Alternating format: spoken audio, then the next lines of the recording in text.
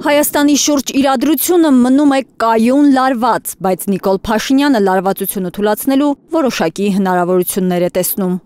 Այդ իմաստով հնարավորություն տեսնում ենք նաև բանակցային գործընթացի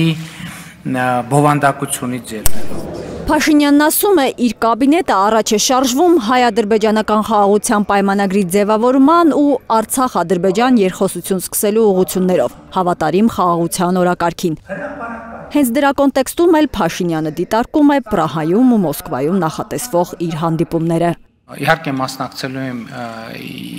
եվրոպական քաղաքական համայնքի գագաթաժողովին եւ այդ շրջանակում քարակողմ հանդիպում է նախատեսված իմ եւ Ադրբեջանի նախագահի եւ Ֆրանսիայի նախագահի եւ Եվրամիության խորհրդի նախագահի միջև նաեւ նախատեսված է հանդիպում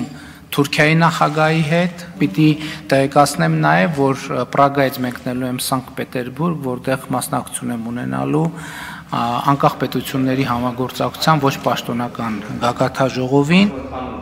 Հայաստանի արտաքին գործերի նախարարը հաստատում է, Ադրբեջանը Հայաստանին նորից փաստաթուղթ է փոխանցել։ Միրզոյանն ասում է, Ադրբեջանի առաջարկների սկզբունքներն անփոփոխ են։ Բաներ կլինեն, որոնք կրկին մեր համար ընդունելի կլինեն, բաներ կլինեն, որ